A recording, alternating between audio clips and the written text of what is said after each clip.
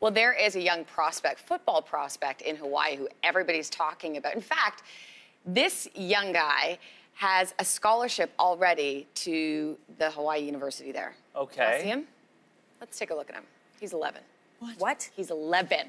What? He's 11 years Whoa. old. He's in grade can't- five. You can't sack this Wait. kid. This is Titan. Yeah, that's his name. Name And there, he's the quarterback. Yeah. And the University of Hawaii has already offered this kid a scholarship Wait, to a Division One school to play football for them.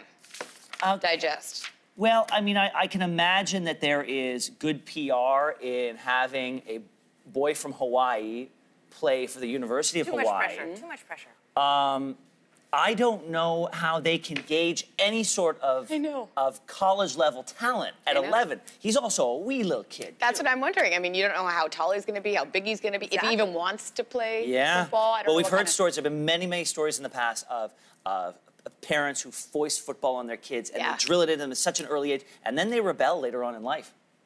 Yes, this is true. Mm-hmm. With often stuff where you push on your children. I realized that when I was trying to force my child to go to tennis yesterday.